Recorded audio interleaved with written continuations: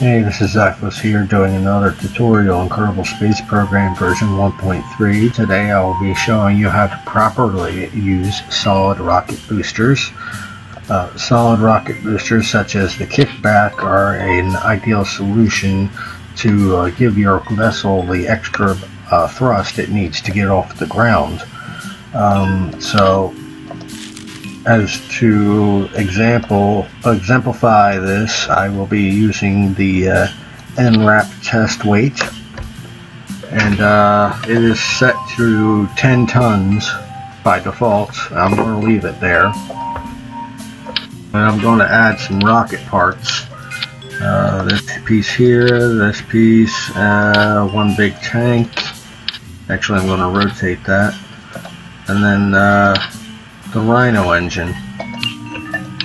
Move this up some. Put that underneath. Okay, according to Kerbal Engineer, uh, we're in atmospheric flight on Kerbin. Uh, the Rhino engine lacks sufficient thrust.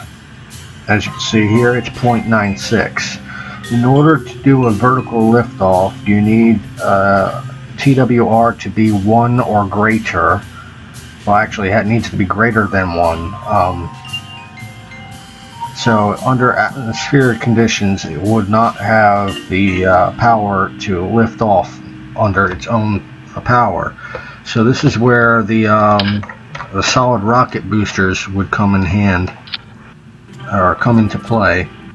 So, we just added a decoupler on uh, both sides. I'm using mirror symmetry uh, add a kickback on both sides. Translate these down to about ground level right there. Add some nose caps and of course you need to strut everything so we're just going ahead and strut the boosters to the fuel tank like that Alright, so now you can see here, uh, Kerbal Space Program's um, default behavior was to add the new engines on an entirely separate stage. Uh, this also would be insufficient to get off the ground.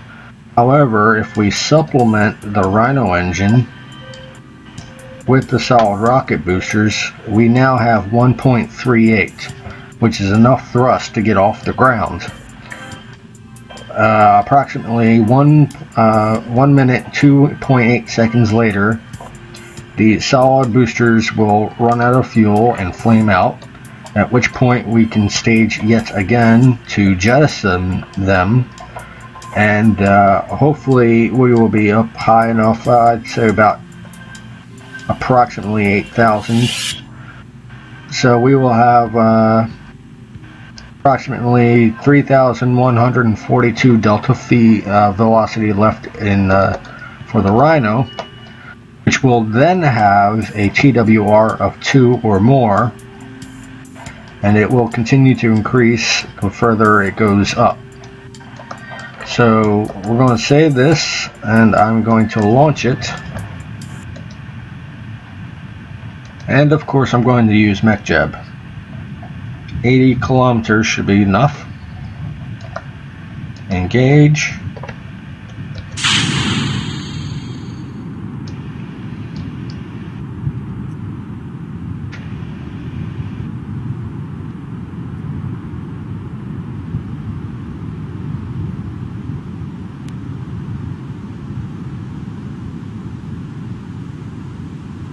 We have a thrust to weight ratio of 1.63 and climbing. Solid boosters working alongside the liquid fuel engine. Going into a gravity turn now. Have a TWR of 2.08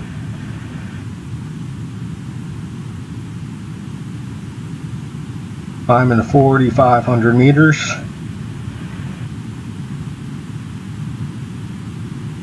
Six thousand meters vertical uh, velocity.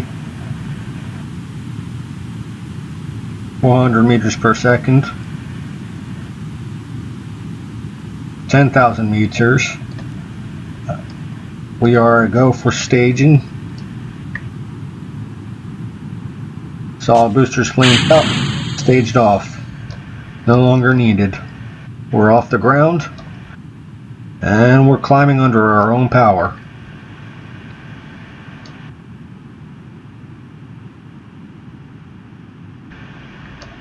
Rhino engine still working. And it looks like it'll achieve orbit.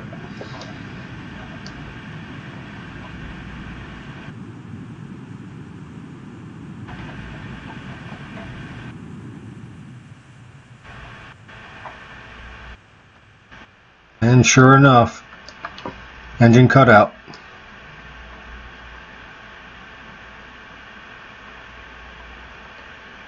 We're at 50,000 meters.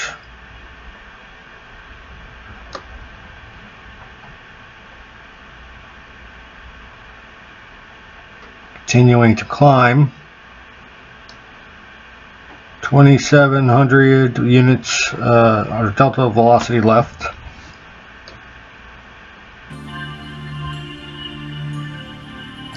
Need 1282.7 to circularize. Circularization begins in five, four, three, two, one, mark.